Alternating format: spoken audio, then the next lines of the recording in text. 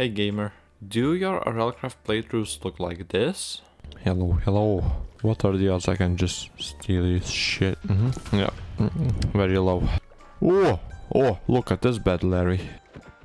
Uh, hi, I'm Ceagle. I am not a ghost, and welcome to the ultimate starter guide for RLCraft. Alright, so assuming you didn't spawn in an ocean, next to a dragon, sirens, in Siberia or Sahara, you may now advance to phase 2. This fade's very easy. I am going to assume that by now you have your PhD in RLCraft 2.8.2 or at least have watched this video already. But do not click off this video, it, no no no, bad idea. You, you, can watch it after this, no problem. So now you have to make a weapon. Go for anything that you like most, uh, all weapons have been nerfed anyway. Just keep in mind, if you choose a two-handed weapon, you need to have your offhand empty. So yes, that does mean that you can have a two-handed weapon and a shield at the same time. Speaking of shields, make a shield, unless you're planning to use a two-handed weapon. Then don't. Don't have a bow or arrows or the levels to use a bow? We do not need. Make spear instead. Recipe cheaper than soup kitchen. Delivers good damage. It's not bad. Next problem you will probably face is hunger and thirst. Can never ignore it make you grow strong. So easiest ways of getting that thirst quenched is these glorious bushes of wildberry and grapes. One is found in villages, other is found everywhere. Grapes are obviously superior, but if a budget doesn't allow for them, go for wildberries instead. But to turn grape or wildberry into juice, you do need this device. You can either do that or use canteens with filters that I most certainly knew how to use. Okay, so you got the canteen, and now the filters, yep. And now this, okay. A mix of, a good mix of both, I'd say. Let's start chugging. Oh, look at this. That's pretty good. Wait. Oh no, it still gives me the, uh, the thirst effect. Why is that? Filter water after picking. Oh, oh, oh, oh.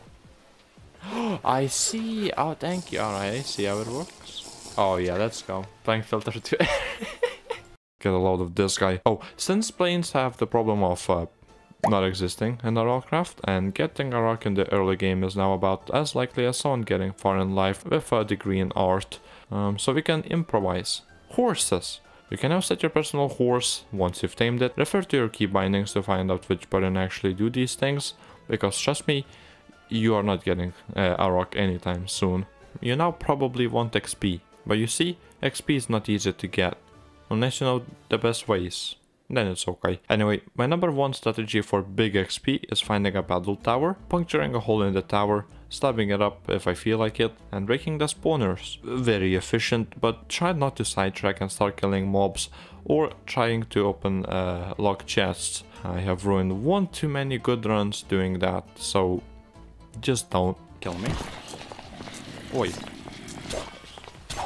What did that?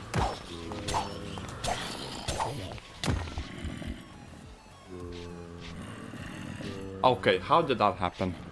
So it was four? Yep, four. Uh, five? Fucking hell. Four? Two. Or do it if you want, I don't really care. Other XP methods include, but are not limited to, harvesting crops, hunting peaceful mobs, smelting down unneeded armor, weapons, tools, and trading with villagers. Also, if you don't have good gear yet, and I suspect you don't because you're watching this video right now. Uh, don't kill infernal mobs. Those are the ones with the bubbles coming out of them. Uh, if they have vengeance buff on them, uh, what it does is reflect some of the damage dealt to the mob back to you. And depending on how good your weapon is, it could one-tap you back. Also, also, don't kill blight mobs. Yes, the ones with the purple flame, if they have enchanted armor on them, it's quite likely that they have either advance or burning thorns. Note, your summons count as you hitting the mobs, by the way. Hey, you're still watching? Yeah, me too. The purpose of this halftime show commercial is I need to tell you to click that red subscribe button. Yeah, fuck it, while you're down there, also like the video. It will help me very much. Now where are we? Ah yes. So now that you have all this glorious gear, iron armor, iron weapons and shield, and all the loot, never forget the loot, because the loot you will now use to make baubles. You see baubles? Very good idea to make. First off, tool belt. Cheap and easy to make, doubles down as a small tool pocket to save you hotbar space. Then you can make two of these rings, very cheap. If budget allows, then you can make two of these poor man's potion rings of resistance. Not exactly resistance, but it will give you a nice boost of speed. Uh, then you can make this amulet as well. A bit more pricey, but it's worth it if you get a good buff. Then you could always make a quiver, bolt or arrow, doesn't really matter, whatever suits your fancy. And boom! You are now ready to do some more advanced stuff that this game has to offer. If you cannot complete the previous steps because of lack of resources, refer to this part of the video. Collect all armor, tools, weapons, pet, wolf armor, throw it in the oven and enjoy. Note, do not pick up wooden and stone ones, those you cannot smelt. Also, make a flint knife and equip it in your left hand. Hold a piece of leather armor you don't need and cut it up to get some leather back. It will help with the tool belt and quiver making process. Pants or skirt? Skirt. Uh, pants you can smelt, skirt you cannot. Mm, and canonically they offer the same amount of protection anyway. If you're feeling very brave at this point and you're willing to lose all the progress you just did, you can try and go mining to get heart shards. This is a very high risk but also very high reward activity. Before going into a cave, bring a bow, loads of arrows, loads of torches, bandages, preferably a summoning stick, recall potion, a panzer 4 if you have, and always be on the edge. Or if you still believe that the earth is flat, go in naked with just a pickaxe. So if you follow this guide correctly,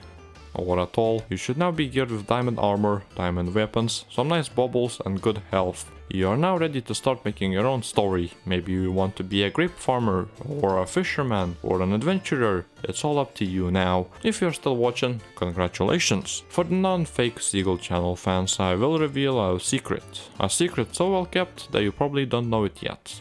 It's how to get a good spawn every time you load up a new game. And all you have to do is